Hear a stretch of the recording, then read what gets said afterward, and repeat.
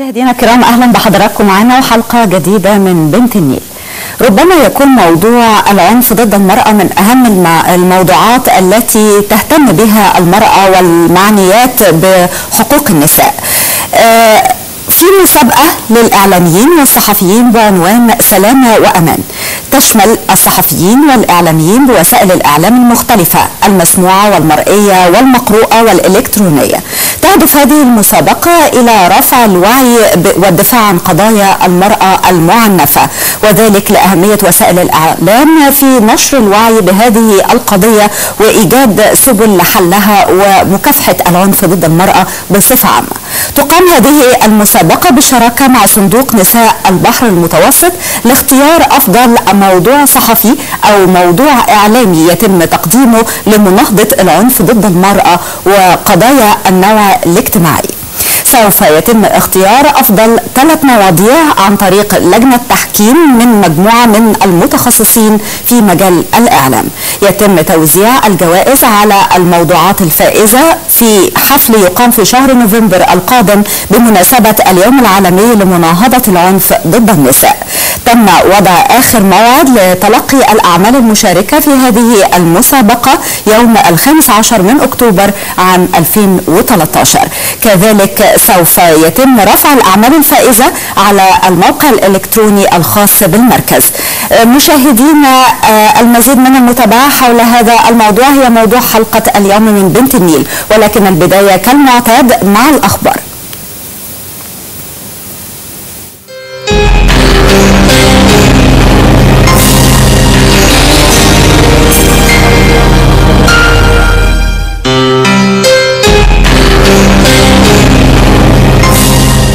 نبدأ جولة الأخبار من جريدة الصباح التي قالت الجارديان نموذج المرأة الفرعونية لا يزال مصدر إلهام. قالت صحيفة الجارديان البريطانية إن نموذج المرأة في مصر القديمة لا يزال مصدر إلهام تتعلم منه سيدات العصر الحاضر وأشارت إلى ما كانت تتمتع به المرأة في مصر القديمة من النفوذ وتقرير المصير بما لم يتمتع به غيرها في شعوب العالم القديم بل حتى في العديد من الأماكن اليوم.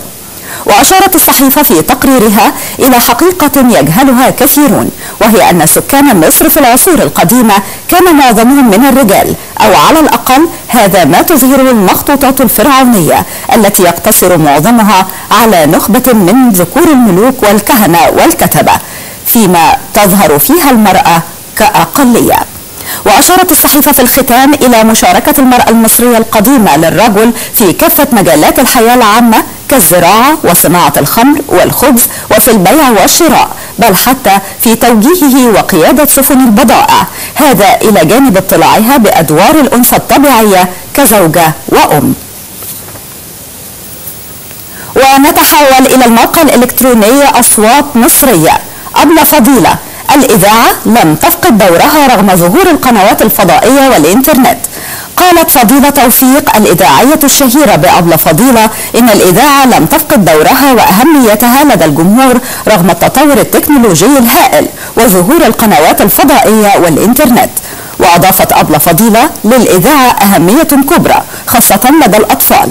لأنها تنمي الخيال لديهم من خلال الاستماع لمؤثرات صوتية ووصف مناطق ومناطق والحديث عن عادات بما يساعد على إرساء القيم الهادفة داخلهم بسهولة. وقد التحقت فضيلة توفيق بالعمل الإذاعي من خلال أحد أصدقاء والدها بعد أن بدأت حياتها العملية كمحامية بمكتب المحاماة الخاص بوالدها ثم انتقلت للعمل في الإذاعة وقدمت برنامج غنوة وحدوتة أشهر برنامج إذاعي للأطفال منذ 30 عاما حيث تميزت بصوتها الذي جذب الأطفال إلى قصص برنامجها التي ما زالت تقدمه حتى الآن.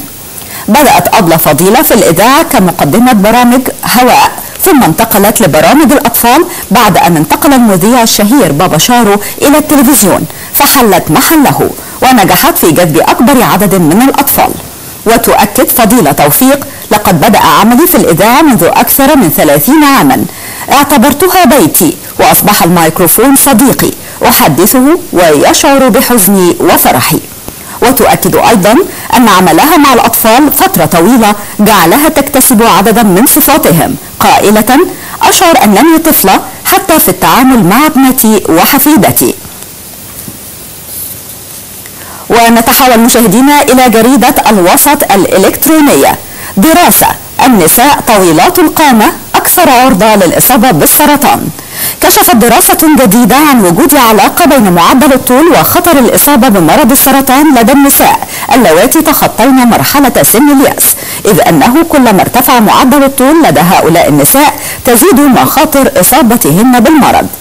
وذكرت شبكة سي إن إن أن الباحثين اكتشفوا أن مقابل كل 10 سنتيمترات من معدل الطول تزيد نسبة إصابة المرأة بأمراض السرطان المتنوعة بنسبة 13% وأشارت الدراسة التي نشرت في دورية أمراض السرطان إلى أن النساء طويلات القامة هن أكثر عرضة بنسبة 13% إلى 17% للإصابة بأمراض سرطان الجلد والثدي والمبيض وبطانة الرحم والقولون. وجاء في الدراسة. أن الباحثين راقبوا أكثر من, من 20900 امرأة تتراوح أعمارهن بين 50 و 79 عاما ممن شاركنا في دراسة مبادرة صحة المرأة. وهي تحليل مستمر لحالات النساء بعد انقطاع الطمس والعوامل التي تؤثر على صحتهن. وأوضحت الدراسة أن زيادة عدد الخلايا والأنسجة في الجسم يزيد من احتمالات تطور تلك الخلايا بطريقة غير طبيعية حتى تصبح خبيثة.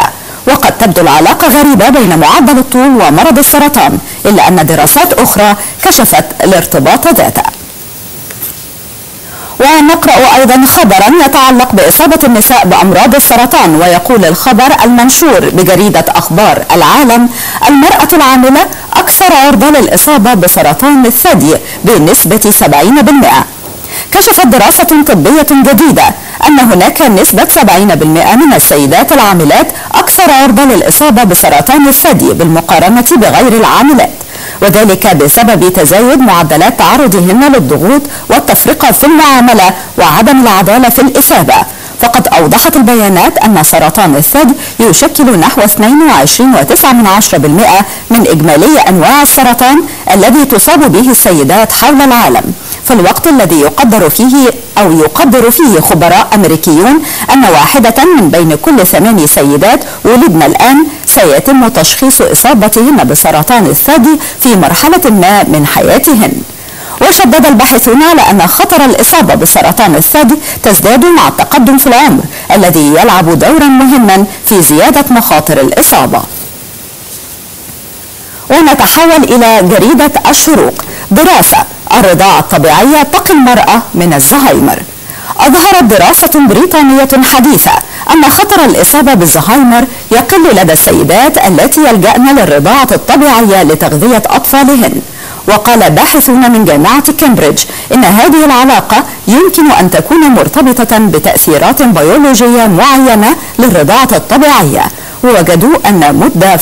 أن مدى فترة الرضاعة الطبيعية يقلل خطر الإصابة بالزهايمر بشكل عام وذكرت صحيفة ديلي تيليغراف البريطانية أن دراسات سابقة كانت قد أشارت إلى أن الرضاعة الطبيعية يمكن أن تقلل مخاطر إصابة الأم بأمراض أخرى لكن لم يتم إجراء الكثير من الأبحاث لمعرفة تأثير فترة الرضاعة الطبيعية على الوقاية من الزهايمر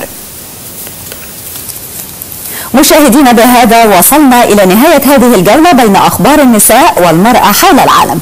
مشاهدينا فاصل قصير ثم نبدأ موضوع حلقة اليوم من بنت النيل.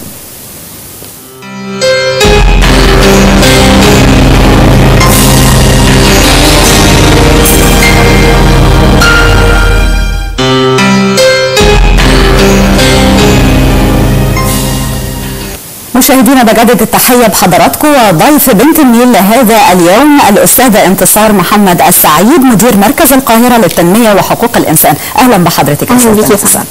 بداية عايزة أعرف من حضرتك أهمية المسابقة التي تحدثنا عنها في بداية البرنامج و... و... و... وهذه المسابقة يعني هي معنية بقضايا المرأة المعنفة.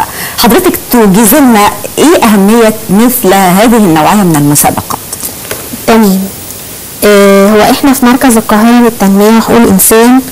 آه، معنيين بشكل عام بقضية مهمة جدا وهي مناهضة العنف ضد المرأة المصرية. آه، لاحظنا إنه برغم إنه في صحفيين كتير بيجتهدوا جدا في ال في ال الأخبار الخاصة بيهم لكن أحيانا بينقصها دقيق يعني قليل من ال- من الموضوعية زي ما بيقولوا أو انه بيبقى عامل آه، موضوع مغطي بيه كل ال- الجوانب الصحفية لكن ناقصه أهم حد وهو ال- المصدر نفسه اللي بيتكلم عنه. يعني مثلا ال- المرأة نفسها. بالظبط. يعني مثلا آه، أثناء ال- ال- المرحلة اللي كنا كلنا فيها بنتناقش عن ماذا تريد النساء من الدستور اللي فات. نعم. آه، في صحفيين كتير جدا عملوا حاجات مهمة جدا ومواضيع مهمة جدا عن الموضوع ده. جاب فيها إيه مثلا الصحفي؟ جاب آه، ال- القانونيين. جاب ال- الفقهاء الدستوريين. جاب رأي الإعلام. جاب رأي كل الناس. ونسي يجيب رأي الستات نفسها. تمام؟ مثلا. في مثال إحنا دايما حتى بنضربه في ال- في التدريبات بتاعتنا. خبر كده. سيدة عجوز تهرب مع عاشقها وتترك أولادها. طيب هي إزاي عجوز وازاي عندها أولاد صغيرين زي ما هو مكتوب في في الخبر. طبعا علاوة على انه ثقافة ال- العنف ضد المرأة أصلا في المجتمع المصري ثقافة مقبولة و لا هي مش مقبولة يا أستاذ انتصار هي مستهجنة يعني ما حدش بيقبلها لكن هي ربما تكون شائعة بشكل ما هي شائعة لدرجة القبول مثلا واحد بيضرب مراته في في الشارع فالناس تقول محدش يتدخل سيبوها هي مراته وهو حر فيها. أنا بقصد إن هي مقبولة هي طبعا مستهجنة لكن بقصد إن الرأي العام بي بيقبلها بال- بالشكل دوت. فاهميني؟ بس. طيب هو حضرتك يعني نوعية العنف ضد المرأة اللي, اللي معنية بيه مسابقة سلامة وأمان. يعني هل هو العنف آه، اللي جوه البيت ولا العنف اللي في الشارع ولا مثلا قضية التحرش اللي هي بتعتبر من قبيل العنف ضد المرأة. يعني أنهي أنهي نوع من أنواع العنف؟ هو إح- إحنا بنتكلم هنا في مسابقة سلامة وأمان عن العنف بشكل عام لكن إحنا مقدرين جدا طبعا إن 90% من أنواع العنف اللي منتشر في مصر هو العنف الأسري اللي جوه ال- الأسرة الواحدة ما بين ال- الزوج والزوجة. لكن طبعا في التحرش الجنسي في العنف ال- المؤسسي في في يعني أنواع أخرى من من العنف برضه داخلة في في المسابقة. لكن أنا يعني أنا وزمايلي في المركز متأكدين إنه أغلب الأعمال هتجمع على العنف الأسري. العنف الأسري. ال- العنف اللي هو بمعنى العنف البدني يعني يا أستاذ آه. بالظبط. طيب حضرتك المسابقة دي أنتوا تصوركم هي آه، يعني هتساهم إزاي في في معالجة هذه المشكلة؟ إحنا متخيلين إنه آه، المسابقة أولا موجهة للصحفيين وللإعلاميين سواء كانوا في الإذاعة في التلفزيون في مواقع إلكترونية على الإنترنت آه، رسامين كاريكاتير آه، آه، مصورين فوتوغرافيا مت- متخيلين إنه هيحصل spot أكتر على الظاهرة ديت. وبالتالي نحاول سوا نغير ال- الواقع اللي فيه عنف ضد النساء طيب آه، زي زي ما حضرتك ذكرتي إن آه، في يعني ال- ال- المسابقة مفتوحة لكل وسائل الإعلام المختلفة. مم. آه، إزاي هيتم تقييم الأعمال المقدمة في في المسابقة؟ وهي يعني ما فيش وحدة واحدة بتجمعها. يعني مش ممكن أقيم الكاريكاتير زي العمل التلفزيوني. مم. أو أقارن مثلا بين آه، موضوع مكتوب بموضوع إذاعي. يعني إزاي هيتم تقييم الأعمال المشاركة في المسابقة ومفيش وحده بتربطها لا هو في المفروض إن في لجنة تحكيم متخصصة من خبراء اعلاميين في مختلف ال- المجالات. هي اللي هتقيم ال- الأعمال ديت بمنتهى الحياد. إحنا كإدارة لمركز القاهرة للتنمية وحقوق الانسان ملناش أي علاقة بال بالاختيار ال- الفائزين. سواء من خلال اللجنة ديت هي اللي بتحدد مين اللي, اللي عامل موضوع مكتمل الأركان زي ما بيقولوا وبالتالي آه، يتم توزيع الجوائز بعد كده. يعني في معايير هتبقى موضوع آه،. تقييم الأعمال المقدمه مم. طيب ه- هل حضرتك شايفة إن من ضمن ال ال يعني اللي ممكن يقدموا في المسابقة التمييز اللي بتتعرض إليه النساء في مجال العمل وقضية الإثابة مثلا؟ يعني نوع من أنواع العنف ربما لا يكون عنف بدني. هو عنف مؤسسي. عنف مؤسسي ومعنوي بدرجة كبيرة لكن ربما تكون في بعض الأحيان بالنسبة لكثير من النساء العوامل النفسية بتكون أكثر إيلاما ممكن من العنف البدني. فهل هل ده مكان في المسابقة؟ طبعا ما هو أصلا تعريف العنف ضد المرأة التعريف بتاعه اللي الأمم المتحدة عاملاه هو بيشمل التمييز وبيشمل الجانبين سواء كان عنف مادي أو عنف معنوي نعم. فهو داخل فيه طبعا طيب آه، آه، تقدري حضرتك تديني آه، تصور إزاي ال- فكرة المسابقة دي جت عندكم يعني آه، إزاي تم التخطيط لحاجة آه، مهمة زي دي. يعني إحنا اتكلمنا كتير قوي في موضوع العنف ضد المرأة. وفي آه، يعني تناول بأشكال مختلفة لقضية العنف من محاضرات وندوات. إنما عمل مسابقة ما بين آه، إعلاميين وأسلوب إزاي يتعرضوا لهذه القضية ويتناولوها بهدف تسليط الضوء عليها. الفكرة دي مبتكرة. يعني مختلفة عن كل الأشكال اللي يعني يمكن ربما الجهود اللي بذلت من قبل في مواجهة العنف ضد المرأة ما جاش فيها فكرة إن إحنا نعمل مسابقة والناس تتنافس في عرض هذه القضايا. هو إحنا في في المركز بقالنا أربع سنين تقريبا بنشتغل على قضية العنف ضد المرأة من كل الجوانب نعم. إحنا عندنا وحده مساعدة قانونية بالمجان للنساء المعنفات بتشتغل على كل أنحاء ال- الجمهورية إذا حبيتي أنا أنا حابة أقول رقم الخط الساخن بتاعنا بحيث أي ست عندها مشكلة تتصل علينا. الخط الساخن الخاص بمركز القاهرة للتنمية وحقوق الإنسان رقمه 012 واحد تلات اصفار تسعة واحد تسعة اتنين. ده جزء إحنا بنشتغل عليه. في جزء تاني خاص بتدريبات بنشتغل من خلالها مع المحاميين على آليات المناهضة القانونية للعنف ضد النساء. وجزء تاني بنشتغل من خلاله مع الإعلاميين تحديدا الشباب على آليات المناهضة الإعلامية آه، بتغطية موضوعية للعنف ضد ال- المرأة يعني أنتوا ليكوا بالفعل أكتر من آه. أسلوب معالجة للمشكلة. بالظبط نعم. آه، آخر طريقة ب- يعني إحنا بنشتغل كل دوت في وقت واحد بالمناسبة فإحنا فكرنا آه، إنه هنقول سلامة هو الرجل وأمان هي الست وإحنا مش عاوزين اسم تقليدي نعمل من خلاله مسابقة نقول لا لا للعنف ضد المرأة من خلاله لا إحنا عاوزين عالم فيه سلامة وفيه أمان للطرفين. أوكي؟ ونحقق من خلاله ال- الهدف بتاعنا إنه يكون آه، في عالم آمن للنساء. إحنا عندنا آه، واحدة من بين كل ثلاث ستات بتتعرض للعنف. دي إحصائية عالمية بالمناسبة. يعني عندنا في مصر آه، على مستوى العالم. نعم. Okay.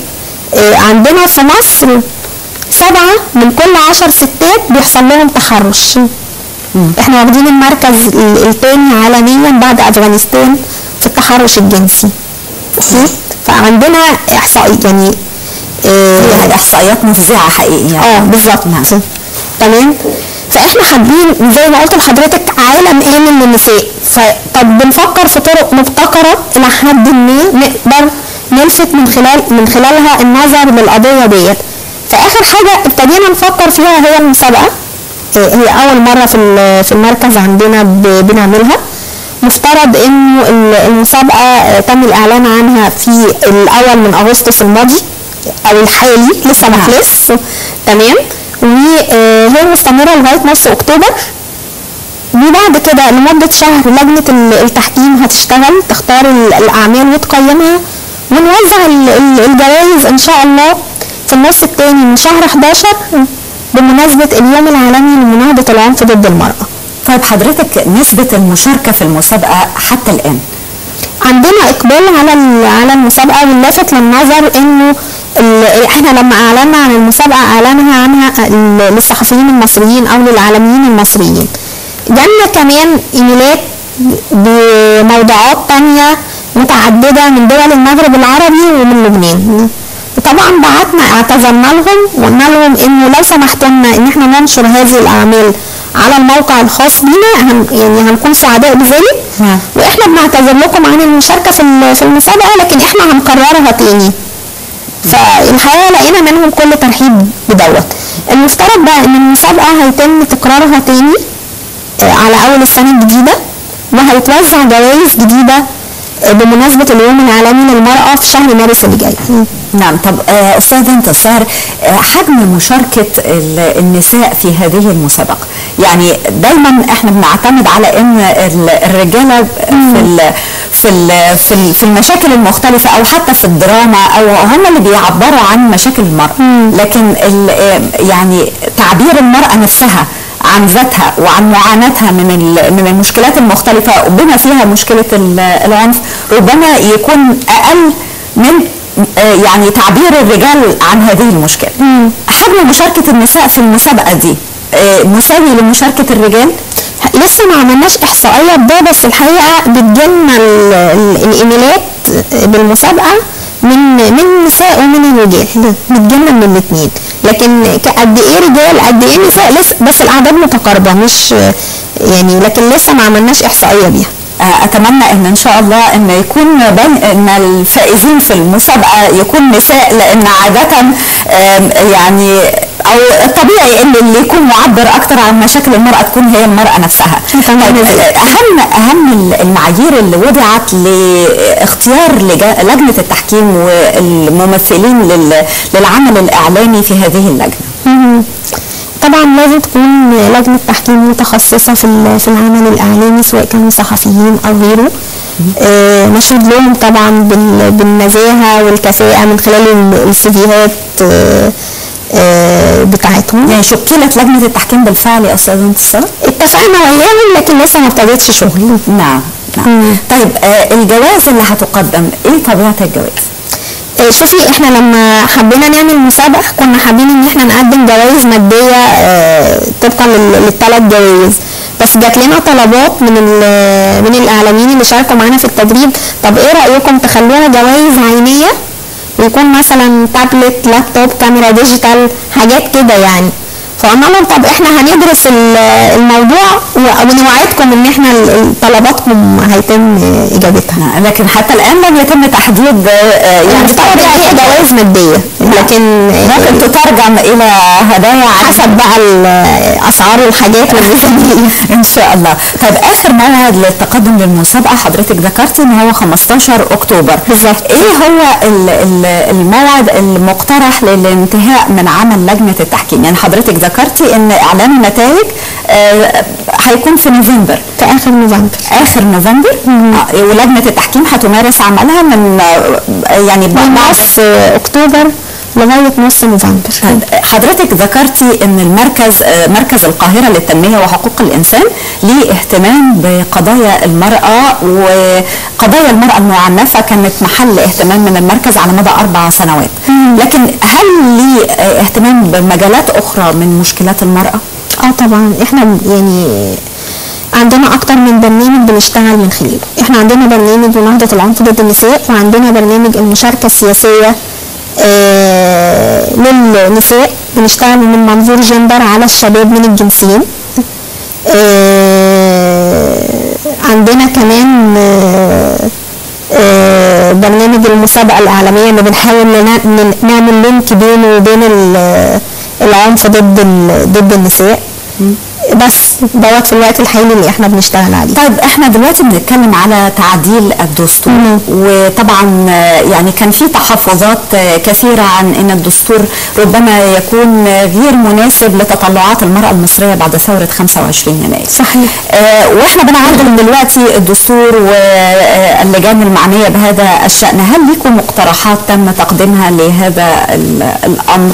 أو أو مشاركة في في في حتى ان أنتم تدوا مثلا لو المجلس القومي للمرأة أو جهات أخرى من المنوط بها آه، إدخال تعديلات على الدستور. إحنا اوريدي المركز عضو في تحالف المنظمات النسوية المصرية.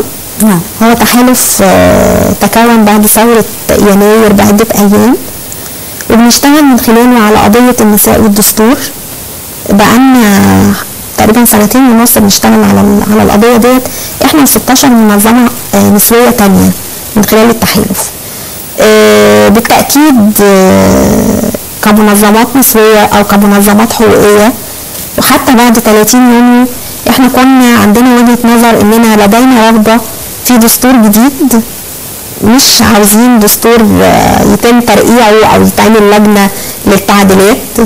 آه، بشكل عام لو أنا هتكلم عن ال- الدستور اللي بيتم تعديله حاليا إحنا برضو عندنا ملاحظات.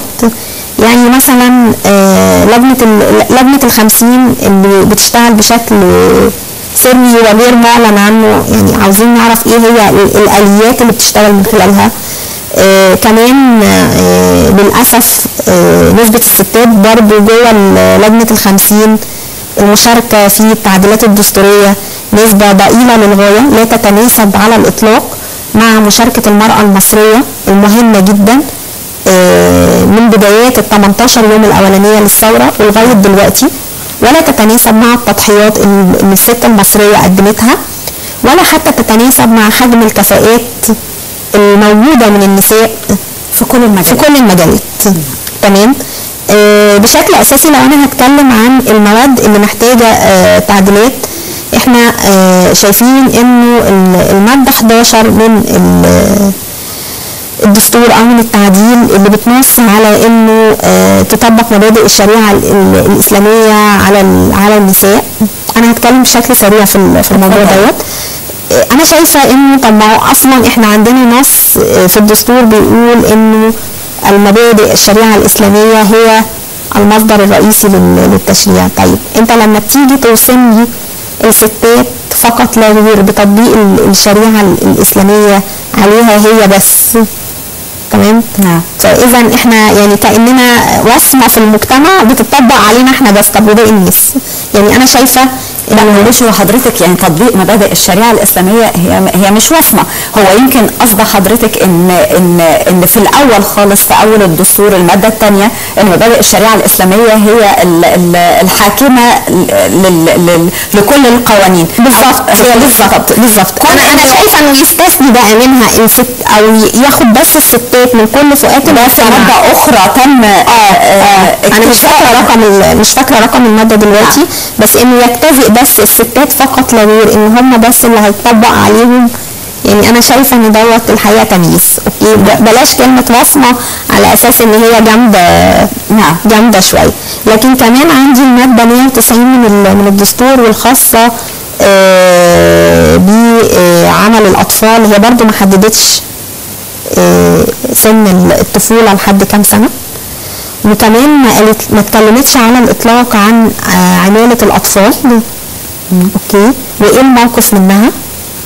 آه، وبالتالي إحنا شايفين إنه مفيش فرق كبير بين التعديلات الحالية أو اللي تم الإعلان عنها وبين آه، دستور 2012 اللي كلنا كنا معترضين عليه. بس أستاذ انتصار هو في النهاية الدستور سوف يطرح على المجتمع. وتتم مناقشته يعني بين الأوساط المختلفة وسوف يتم الاستفتاء عليه في النهاية. وبالتالي كل من له تحفظات على الدستور هيكون لها آه، تأثيرها في النهاية. بالظبط. هنكون سعداء جدا لو حصل حوار مجتمعي وتمت الاستجابة فيه لآرائنا والوجهات نظر المنظمات الحقوقية وتحديدا النسوية منها فيما يخص مسألة آه، حقوق النساء في الدستور.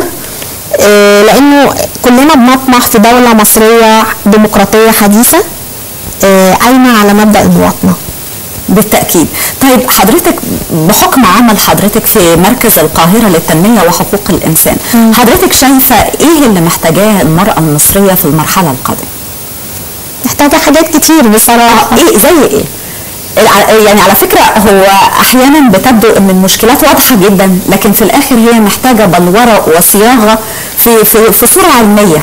في نقط محددة يتم عرضها على أولي الأمر لاتخاذ ما, ما يلزم من قرارات بشأنها. تمام. الست المصرية محتاجة تعليم جيد أوكي؟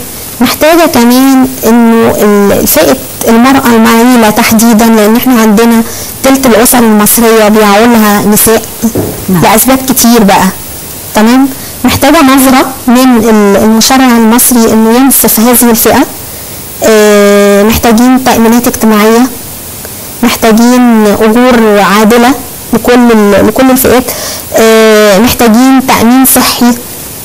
محتاجين حاجات كتير جدا. انتصار حضرتك كل اللي اتكلمتي عنه هتلاقيه مشترك بين النساء والرجال. بالظبط. يعني هي دي المشكلات مجتمعيه يعني آه. حقيقي يعني مشكلة ال يعني يعني إذا استثنينا مشكلة المرأة المعيلة فطبعا دي شأن يخص المرأة وحدها. لكن مشكلة التعليم دي مشكلة مجتمعية. هتلاقيها مشكلة مجتمعية لكن في الأساس أكتر فئة بتنضر منها هي الستات. وإحنا لسه لحد دلوقتي عندنا في بعض ال- المحافظات وال- والأماكن النائية لسه لحد دلوقتي بيفضلوا تعليم الولد على تعليم البنت بحجة إن البنت مصيرها للجواز وبحجة إنه ويمكن في ديت هيكون عندهم عذر إنه المسافة بعيدة بين ال- المدرسة والبيت. علشان كده أنا بتك قوي على نقطة التعليم ثم التعليم ثم التعليم. وبالتأكيد التعليم هو يعني حجر الزاوية وحجر الأساس في أي نهضة بتحصل بالظبط. مجتمع. آه، أستاذة انتصار أنا يعني بشكر حضرتك جدا على هذا ال- اللقاء وبالتأكيد إحنا يعني بنتطلع إلى مصر مختلفة مصر دولة عصرية ديمقراطية وأيضا قائمة على عدم التمييز بين أي إنسان وآخر. على أي معيار من المعايير ومبدأ المواطنة هو المبدأ اللي يحكمنا جميعا. بالظبط يا فندم. أنا بشكر حضرتك أستاذة انتصار محمد السعيد مدير مركز القاهرة للتنمية وحقوق الإنسان على هذا اللقاء. بشكر حضرتك شكرا يا. فندم. مشاهدينا أشكركم على حسن المتابعة على وعد بتجدد اللقاء الأسبوع القادم. شكرا لكم وإلى اللقاء.